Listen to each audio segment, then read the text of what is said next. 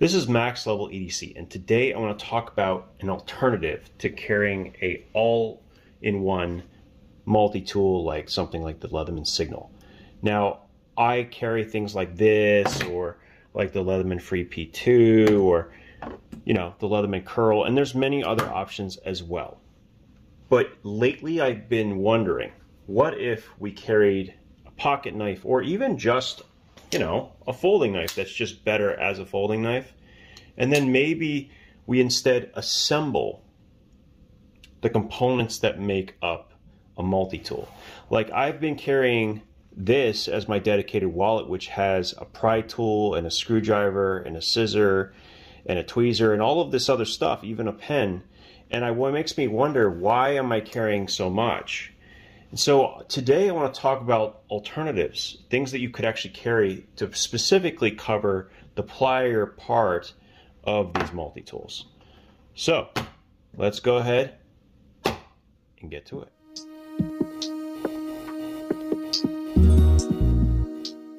Now, I think for most people, what you're seeing in front of you is kind of a little bit more familiar than maybe carrying something like the Leatherman Signal. Something this small is also going to be much, much lighter. So, you know, this is basically a compact with Phillips that I've modified, and this weighs about three ounces, so it's significantly lighter than many of the larger multi-tools that are out there. And there's different designs and different styles of pocket knives out there, whether it's the K series, the T series from Leatherman, and so on. And then there's also a plenty plenty enough people out there who prefer no pocket knife at all, instead they prefer a folding knife. Well, this kind of applies to you as well.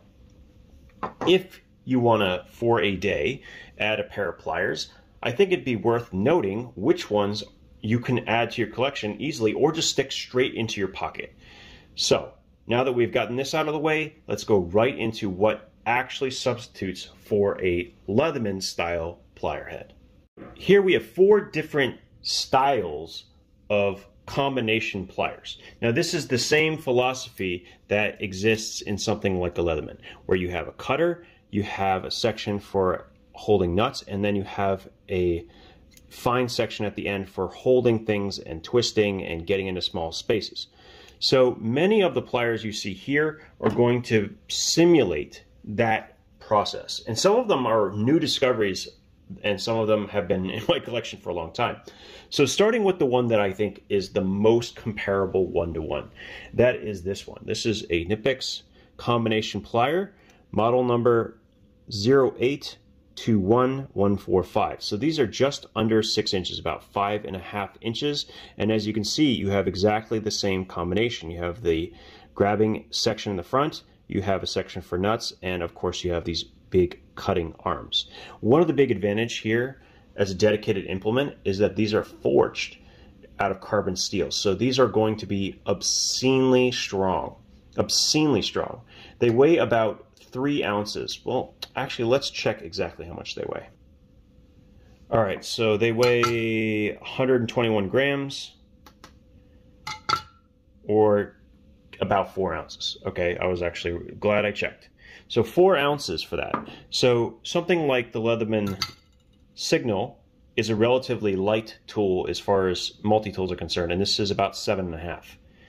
So you have about half the weight right here in just the pliers alone. And that makes sense. When you think about the arms and everything that goes into the pliers, yeah, that kind of makes sense. Even something like the curl, seven ounces, that's about right.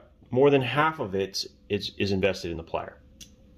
Now there's other ones as well that have similar combinations, and I just found these. These are actually made by Klein. I'm sorry, not Klein. This is made by Channel Lock, and I didn't know this till recently, but they make a four and a half inch virgin version of their slip joint pliers. And I gotta say, I'm really impressed. There is almost no play in these, just enough to basically do the shift, and it has cutters, grabbing end, and they actually come to a very nice uh, point here. So I'm actually kind of impressed. This is a decent option and actually in many ways is probably better for holding larger nuts than even a multi-tool would be, even though they are shorter and don't give you as much leverage. So I think that's a, actually a pretty decent option. And these come in well under the $15 range. I think these are 14 bucks. I will put a link to them down in the description. So you could do something like this in your collection and that would definitely work. And because they don't have pointed ends, you can just literally drop these straight in your pocket without anything whatsoever. Now, real quick, so we also have a locking vice grip. Now this is an extreme variant. This is quite heavy. So I don't not sure most people would consider something like this. This is considered a six inch uh, locking vice grip and it is 181 grams or six ounces. So this tool by itself weighs almost as much as a normal multi-tool. But the thing is, is this is forged, once again, forged pliers and frankly, vice grips in and of themselves are quite, quite useful. And I think, and uh, something I wanted to do, maybe you guys uh, have an opinion. I was considering modifying this one to kind of give it a more precise tip for everyday carry and kind of create a toolkit for it around it. You know what I mean? But these have these have wire cutters. They have sections for nuts, and then they have the fine tip section. So once again, very similar. And then the last one is something I just discovered. Now, I wish I had known about these years ago because they are unbelievable. This is by Engineer. This is the PZ58 and these are what we call screw pliers. Now look at the look at the head. You can see what this is designed to do is actually grab the head of a screw and allow you to unscrew something without having a screwdriver. So essentially, as long as the screw itself is exposed, you can use this instead of a screwdriver. And this is cool because it actually has cutters and a section for nuts as well. This might be one of my favorites in recent memory. And as you can see, there's actually a bunch of plastic here that doesn't have a piece of metal. So I'm actually going to strip this whole thing off. I'm going to cut it down a little bit more so that I can even fit it more comfortably into um, an organizer that I can carry every day. Because I'm actually super impressed by this particular plier head. And these came into like $23. I think they're on sale right now. I'll put a link down in the description. But I think this is also a pretty cool option when we're talking about straight up trying to get what we get in a multi-tool plier, right? But that's not the only types that are out there. When you're talking about more specialized pliers, there are so many options. So let's go right into that. Now, for those who have potentially carried a separate plier in their EDC, some of these are going to seem very familiar, like the 5-inch Cobra, this has been a fan favorite for a long time, but there's actually been a whole bunch of additions that have come to light, at least recently, to me. So let's start with what's on the far left. Now this is actually an Irwin vice grip model, and I have removed the scales and shortened it down to five inches. I'm actually going to be dipping these in uh, uh, a material so I can actually reapply a handle. One cool thing, two things that are different with this versus the Cobra from Knipex, besides the price of $12, is that uh, when you open it, you actually get quite a bit more of an angle without adjusting it. You see? On top of that, there's another thing I discovered with the Irwin that I think is pretty cool.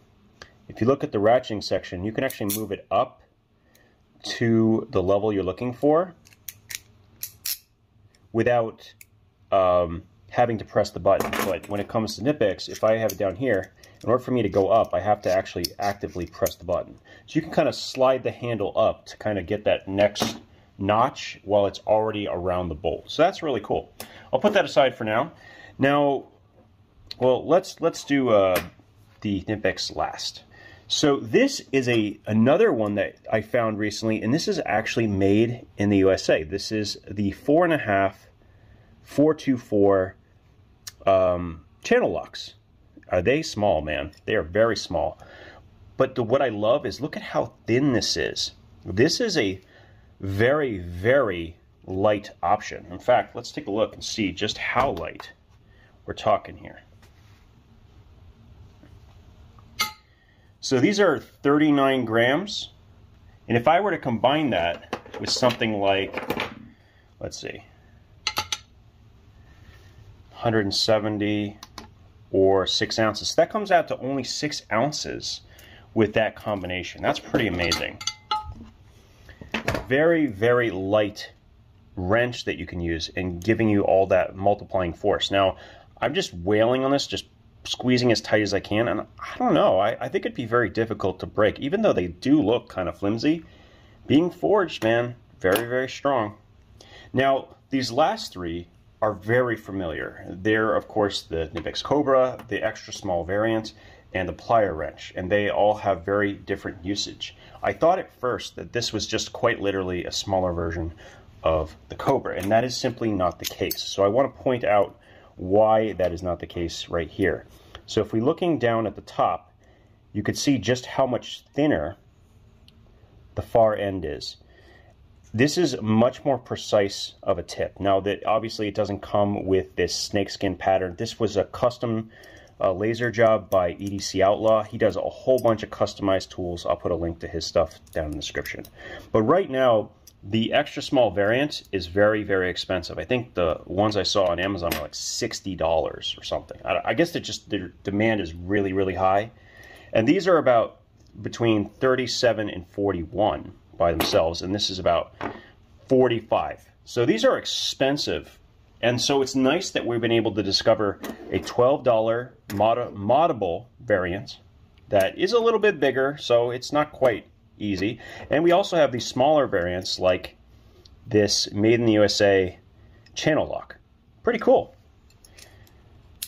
Um, on top of this, of course, we have the plier wrench. And I think there are just some things that this tool does that no other tool is really going to substitute for. So what I've used it for, like for instance, I recently uh, bent a pocket clip and instead of twisting it, what I did is I basically need both hands to come together to push the clip down. And so I was able to, without marring anything, because there's no teeth on the plier wrench, I was able to just simply squeeze and get the pocket clip back in the right orientation.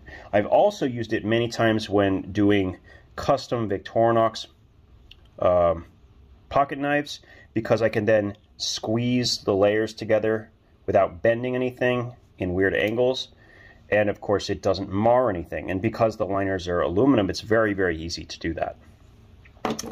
This is another great option. Now, once again, I remind you that everything you see in this video, all of these items, all of these different wrenches, I will put links to down in the description. And I will continue to collect more because this has become a fascinating uh, category, at least for me. If you have see, see or know of any others that I have not yet mentioned, just let me know.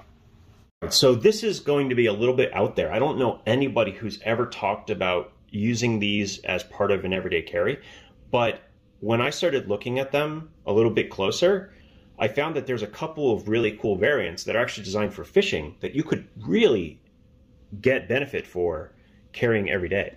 So this is what I had on me when I was a teacher. And man, how many times I reached in somewhere to grab something so I could pull it out, whether it was a, a wire or something like that.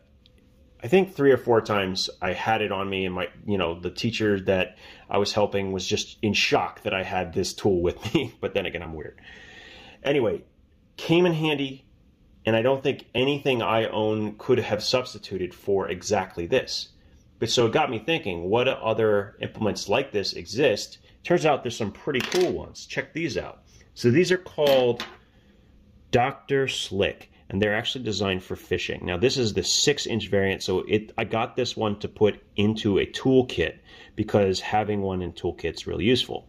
But unlike normal variants, it actually has a pair of serrated scissors. So you have serrated scissors, a curved end, and they actually have it in straight form as well. And there's a couple other things as well. I'm not exactly sure what that's for, other than, you know, making you have a very bad day.